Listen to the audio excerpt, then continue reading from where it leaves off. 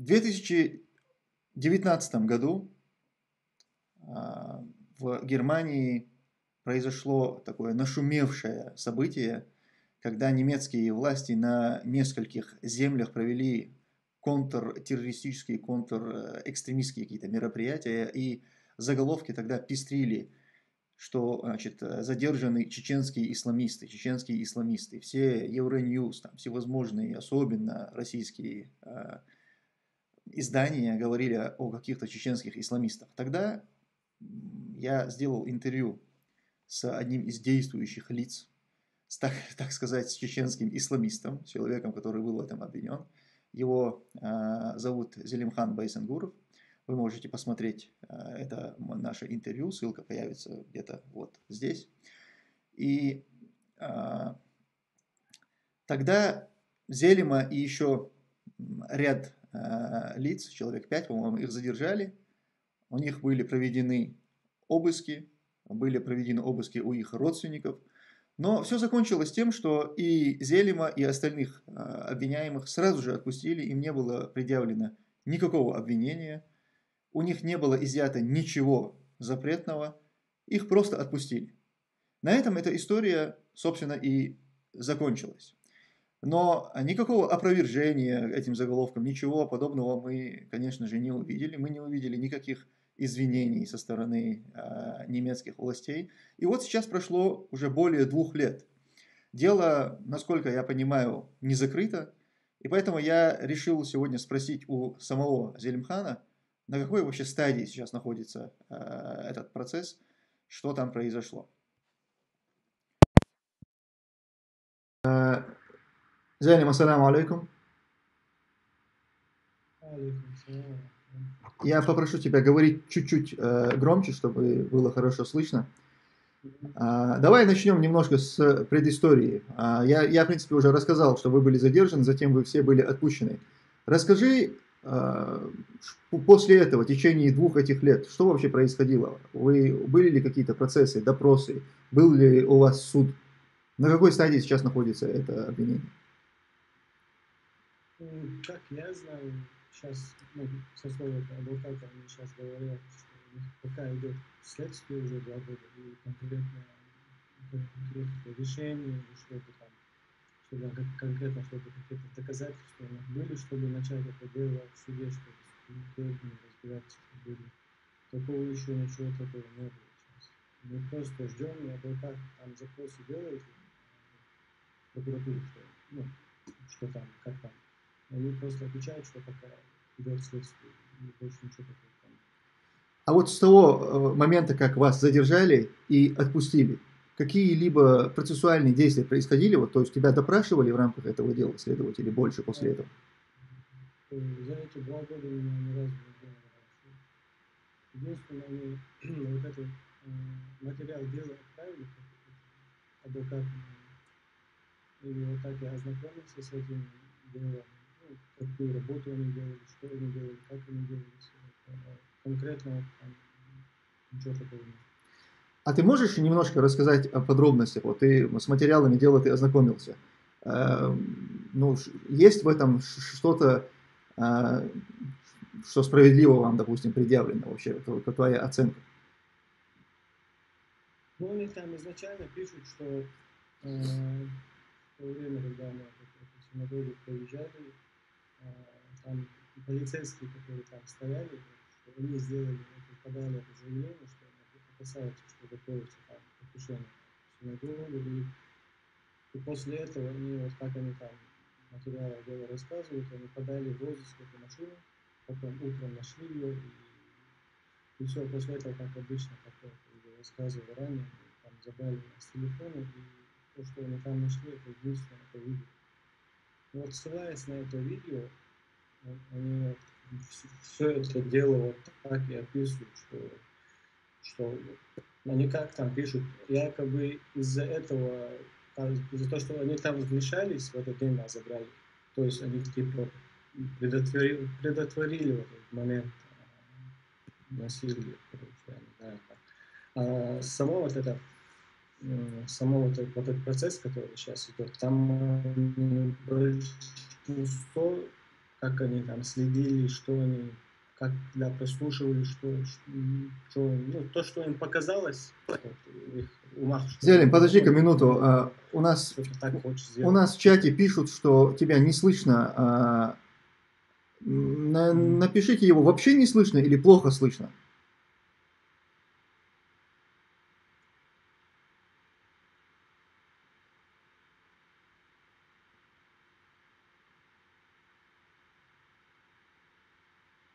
Лучший звук стал. Погромче. А, все, понял. Его слышно, просто нужно сделать чуть-чуть громче. Хорошо. Сейчас я чуть ближе сделаю. Я сейчас... Так видно меня, да? Ага. Окей. А, вас обвиняли в том, что вы собирались якобы совершить нападение на синагогу или синагоги э, в Германии.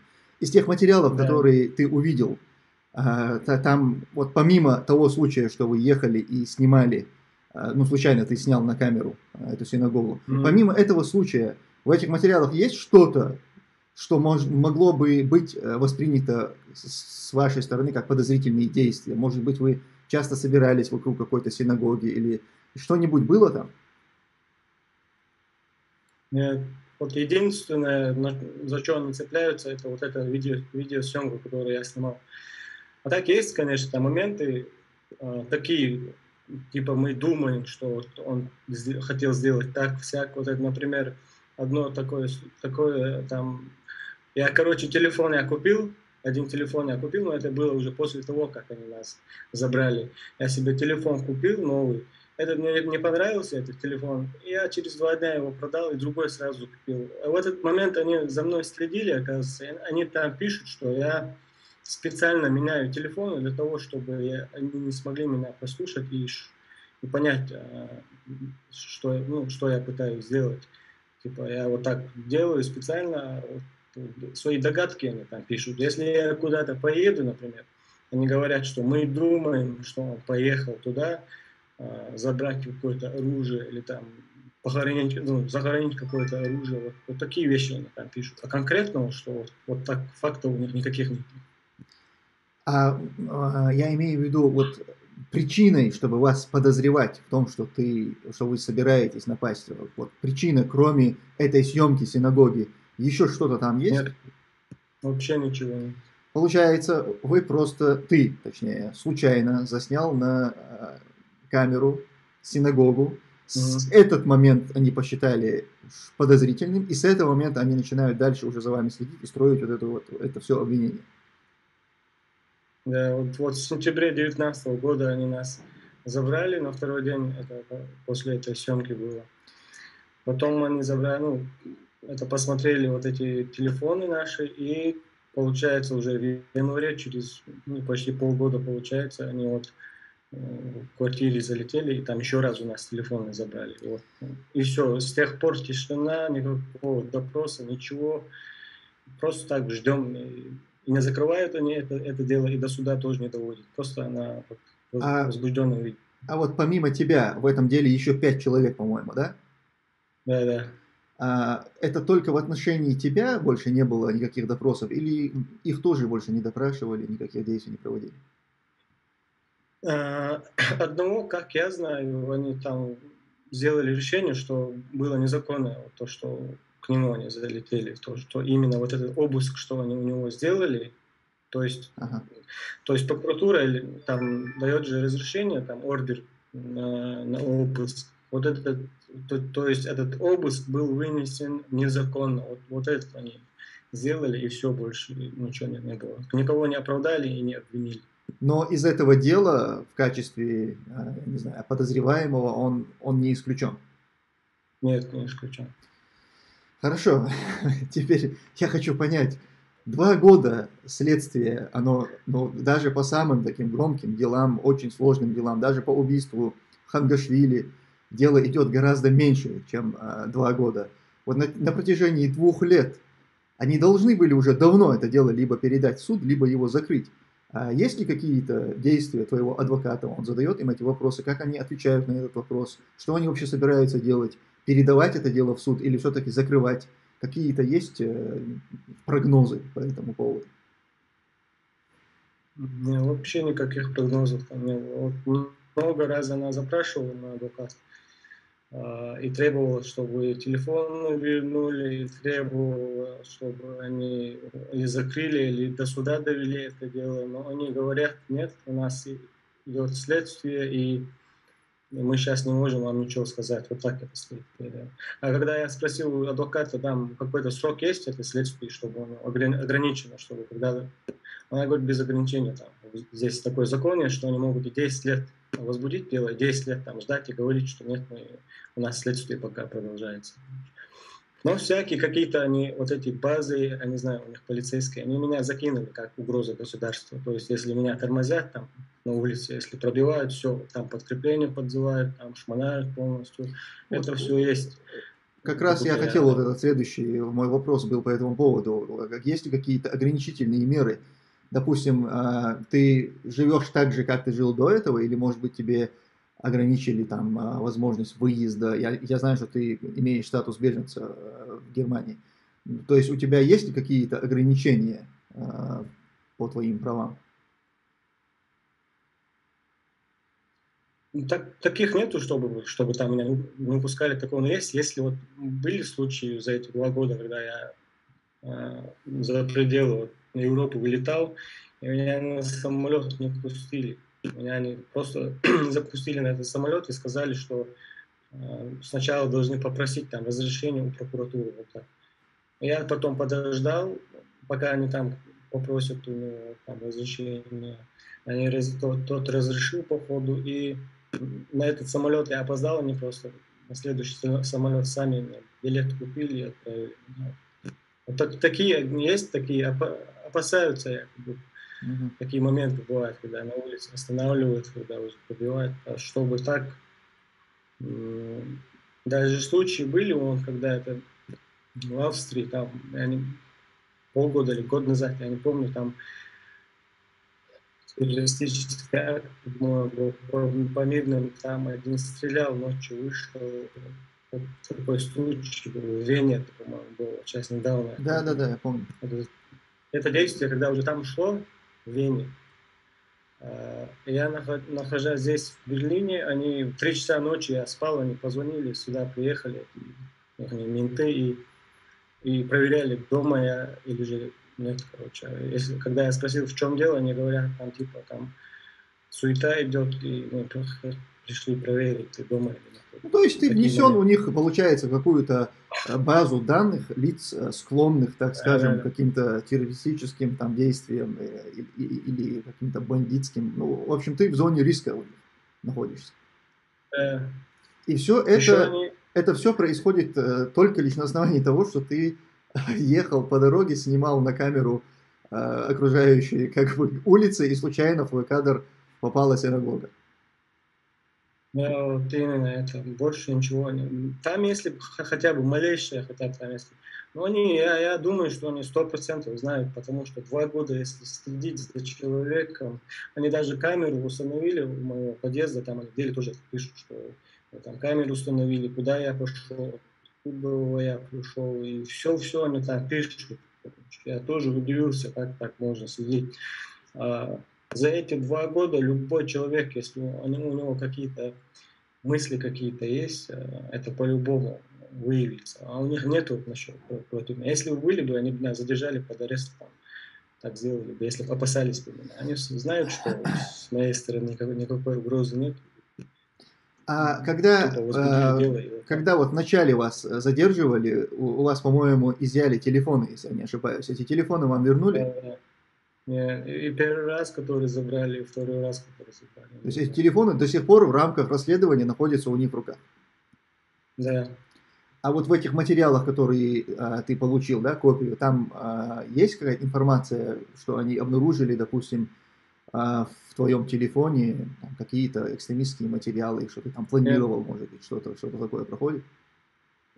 Вот кроме этого видео ничего нет. Там они даже пишут, что когда они вломились в квартиру после обыска, никаких записей, никаких планов, ничего э, подозреваемого, что они не, не нашли. Вот так у них акты заканчиваются, эту, ну, эту работу, которую они делали. Единственное, у них там что было. Но они потом уже узнали, и тоже это там они пишут, что у меня там фотографии были, это давные фотографии, это где ну, там в Грозном, в страйкболе, там клуб какой, там я играл, и у меня там были фотографии, они эти фотографии тоже туда вложили, сказали, что это настоящее оружие, и что якобы я где-то здесь это тренировался.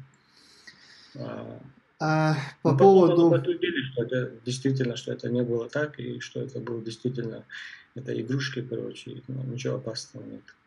А вот а, в твоем деле миграционном, то есть то, что тебе предоставлено убежище, а, по этому вопросу какие-то проблемы у тебя были? Может быть, они попытались лишить тебя этого убежища? Что-то такое было? Да, там тоже в этот, ну, здесь миграционная служба тоже меня, ну, в этот период это было, они меня тоже вызывали. Этот процесс, они как, со слов моего адвоката, они начали этот процесс, думая, что действительно, что я где-то замешан, чтобы отобрать параллельно, там, посадить меня, параллельно отобрать это вещи, и вот так они. И у них это, короче, не получилось, потому что у них никаких доказательств нет, нет вот так. Но там были, были моменты, что они пытались, короче. Но этот процесс ты выиграл. Да, этот процесс даже не начался. Ну да, они попытались, и все, сразу задние включили. А как, какие у вас, э, я имею в виду у тебя, у адвоката, может быть, у остальных занимается, какие у вас вот, дальнейшие планы и вообще какие действия? Вы сейчас просто э, вынуждены ждать, пока они доведут это дело до какого-то логического конца, либо в суд, там, либо прекратят, либо вы параллельно предпринимаете какие-то действия, может быть, вы подали там встречный иск, или что сейчас происходит? А, адвокат подавал вот этот их суд, а, здесь Белинский суд она подавала, что, что то, что они сделали, это было незаконно по отношению ко мне. То есть то, что они забрали у меня телефон, и во второй раз, что они ко мне с обыском пришли. Вот это, вот эта жалоба была, но суд сделал решение, что это не было незаконным, а, что это было все законно, так как и они все это описывают, так как я поехал а, там рядом с синагогой, там снимал ее, и что есть опасность, что я какой-то план, план там делал. И они там пишут, что они три дороги там определяют, через навигатор показывают три дороги к этой мечети, к которой мы ехали. Mm-hmm. И они говорят, почему они выбрали там именно эту дорогу. Вот это нас там вводит сомнения, короче. Из-за этого там мы были, ну, они были вынуждены там обыск сделать телефона. А вот твое, твое ощущение они реально думают, что, что вы собирались на что-то напасть там на эту синагогу? Или это все-таки какая-то игра для чего-то, для там, опорочивания чеченцев, для того, чтобы выдать вот все-таки нас? Твое мнение, они реально думают, что вы пытаетесь, ну, пытались напасть? Ну, первый раз, когда они нас забирали, там я, да, я и думаю, что действительно они вот подумали, там, потому что они там описывают, там бородатые люди там проезжали, снимали. И на второй день, на утро же, сразу, там, сразу это действие сделали. И там, когда телефон нас забрали, когда они увидели вот это видео, они сразу там друг друга посмотрели и говорят, все что ли, вот такая реакция у меня была. Все что ли, больше ничего нет? Я говорю, нету, короче. И все, они там и поняли, что никакого там этого не было. А вот когда во второй раз они когда залетали, уже с журналистами, уже с камерой, там, давайте его сюда приводите, там, сюда сажайте, там, как будто фильм снимают туда-сюда, эти репортеры тоже бегают. Вот тогда я уже понял, что это то ли опорочка, я не знаю, то ли ну, какой-то коварный план у них в этом деле был. Но сто процентов они знают, что ничего, то, что они там э, пишут, что рядом даже нету, то, что в синагогу хотим напасть там. Они это знают сто процентов. У тебя есть э, связь, ты общаешься с другими остальными фигурантами, э, подозреваемыми да, в этом деле? Да. У них тоже нет никаких э, новостей, то есть их тоже, э, ну, помимо того, что ты сказал, что одному было признано, что они незаконно провели обыск, помимо этого у них тоже нет никаких э, новостей. Нет. Угу. Вообще, вот, как это началось, так и стоит там. Как вы считаете, а, Вот два года прошло. Сколько еще нужно будет ждать, чтобы получить хоть, ну, чтобы это дело было доведено до какого-то логического конца? То есть сколько, есть ли какой-то прогноз от адвоката, допустим, сколько нужно будет еще ждать? Ну, адвокат говорит, что, что ну, они там тоже ссылаются, типа, якобы коронавирус, там все такое, там сейчас замедлилось это дело так, как ограничения, все такое, суды, там же надо все это делать. А, адвокат на это тоже ссылается. Но, ну, она каждый раз мне говорит максимум полгода, и сейчас вот так четыре раза получается, два, два года уже прошло. Она тоже, походу, не, не знает. Может быть. Что там. А, поскольку дело было очень громкое, оно освещалось во всех СМИ, европейских, особенно а, русскоязычных, и освещалось с подачи, что это вот исламские, а, чеченские исламисты. Ты в данном случае чеченский исламист, один из тех самых чеченских э, исламистов. А, и поскольку это настолько громкое дело, и опровержения этому никакого не было, может быть, есть смысл проговорить это в том числе и с адвокатами, провести какую-то пресс-конференцию с теми, теми же самыми, самыми журналистами, показать все эти материалы уголовного дела, показать абсурдность а, этих обвинений. И пора как-то через а, СМИ, через общественное мнение начать давить на правоохранительные органы Германии, чтобы они все-таки, во-первых, прекратили незаконное преследование, во-вторых, чтобы они все-таки это имя, которое они, этот ярлык, который они повесили на вас, а в вашем лице и на, в целом на чеченцев, потому что мы так это воспринимаем, когда видим сочетание слов чеченские исламисты и чеченский исламизм, у нас это, мы понимаем, что это бред. Поэтому, может быть, стоит э, как-то посоветоваться и провести подобные мероприятия, как пресс-конференцию какую-то там, мирную акцию протеста и так далее.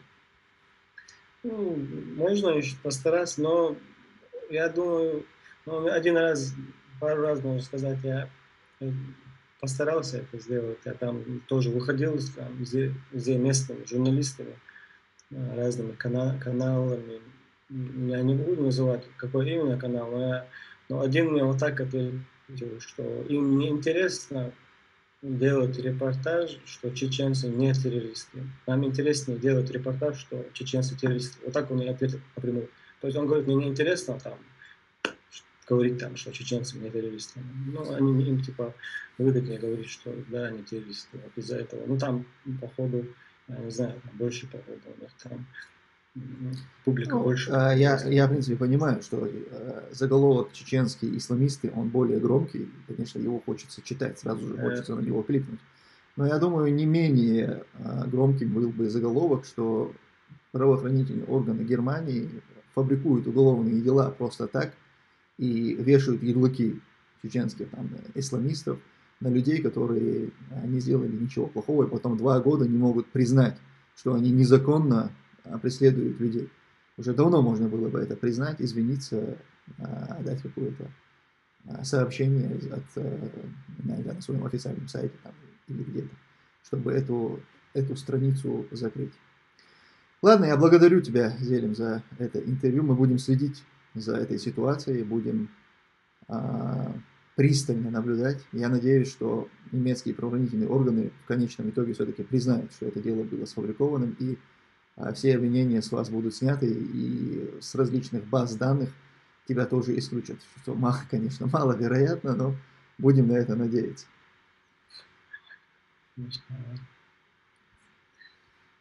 Так.